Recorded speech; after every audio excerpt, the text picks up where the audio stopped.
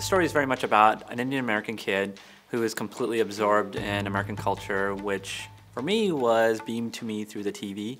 That plays opposite to the little boy's father, who's absolutely worshiping his deities, which are from Hinduism. It's an immigrant family. The father is still hanging on to his culture. The boy is adopting this culture where he's arrived, America. And the story is very much this conversation about how they clash and kind of how they can suddenly see things from each other's point of views. Those photos are of my dad, and uh, twice a day my dad does a puja. A puja, if people don't know, is a flower ceremony. Every morning what he would do is he would get food, flowers, water, and light, and incense, and he would offer all these things to the gods.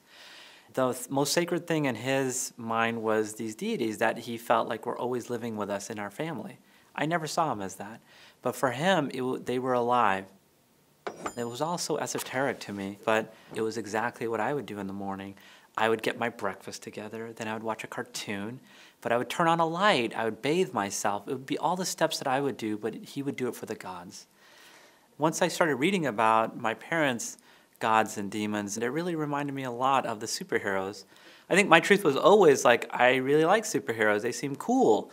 And, you know, I didn't know it then, but a little version of me was like very much escaping and like kind of visualizing my power or, or I could just admire these superheroes. And it just seemed like a really nice way to at least introduce this comparison between my father's world and my world.